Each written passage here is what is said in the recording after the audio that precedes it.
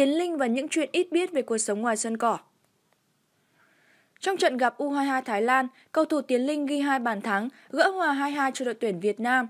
Ít ai biết, cầu thủ trẻ có tuổi thơ nghèo khó, sống xa bố mẹ. Tại trận đấu gặp U22 Thái Lan, đội tuyển Việt Nam bị dẫn trước hai bàn. Tuy nhiên, ở phút thứ 16, cầu thủ Tiến Linh đã ghi bàn, rút ngắn tỷ số xuống còn 1-2. Sau đó, phút thứ 72, từ quả đá phạt penalty, Tiến Linh đã gỡ hòa 2-2 cho đội nhà. Cầu thủ Nguyễn Tiến Linh, quê Hải Dương, sinh ra trong một gia đình nghèo khó. Năm 2 tuổi, mẹ đi xuất khẩu lao động ở Hàn Quốc, bố chuyển vào Bình Dương làm ăn. Cầu thủ được ông bà nội chăm sóc. Mặc dù thiếu thốn tình yêu thương của bố mẹ, nhưng Tiến Linh luôn là cậu bé ngoan, học giỏi. 7 tuổi, Tiến Linh được bố đón vào Bình Dương, mẹ cũng kết thúc thời gian lao động bên xứ người. Lúc này, gia đình cầu thủ trẻ mới có cơ hội đoàn tụ.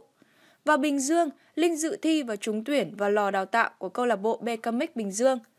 Khác với các cầu thủ cùng trang lứa, Tiến Linh phải chật vật tập luyện, quyết tâm theo đuổi giấc mơ quần đùi áo số. Có lúc Linh chạy không kịp với trái bóng, khiến thầy giáo phải lắc đầu ngao ngán.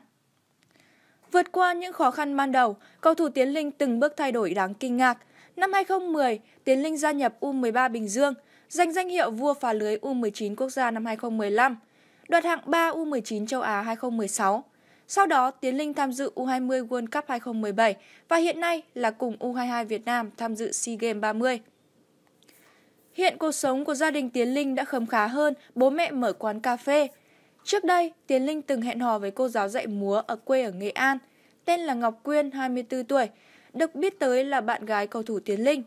Cô tốt nghiệp ngành múa, Đại học Sân khấu Điện ảnh và hiện làm giáo viên dạy múa tại Nghệ An. Ngọc Quyên từng chia sẻ với chúng tôi, cô và Tiền Đạo sinh năm 1997 quen nhau qua mạng xã hội. Tiến Linh là người chủ động nhắn tin làm quen với nữ giáo viên.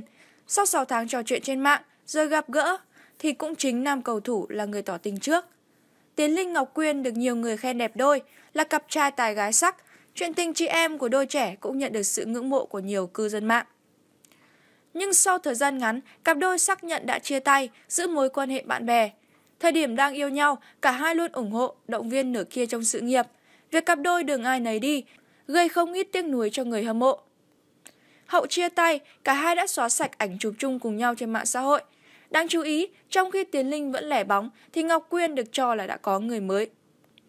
Cụ thể, khoảng đầu tháng 10 vừa qua, khi Tiến Linh chuẩn bị hội quân tuyển Việt Nam, thì Ngọc Quyên lại đăng ảnh khoe nhận được nhận cầu hôn. Đăng kèm món quà ý nghĩa, bạn gái cũ Tiến Linh nói rằng, em đồng ý. Có nhiều fan thấy buồn cho Tiến Linh, nhưng có gì đâu chia tay rồi, việc có người mới là rất bình thường. Với Tiến Linh thì sau chiến thắng ngày hôm qua, anh mang lại cho đội tuyển Việt Nam thì chắc chắn anh sẽ có thêm rất nhiều fan nữ và việc anh tìm được nửa kia thực sự của mình chỉ là chuyện sớm muộn thôi. Đến đây thì video của bọn mình xin được kết thúc. Chúc mừng Tiến Linh, chúc mừng U22 Việt Nam. Nếu thấy video của bọn mình thú vị thì các bạn hãy ấn like và subscribe kênh để tiếp tục cập nhật các video tiếp theo nha.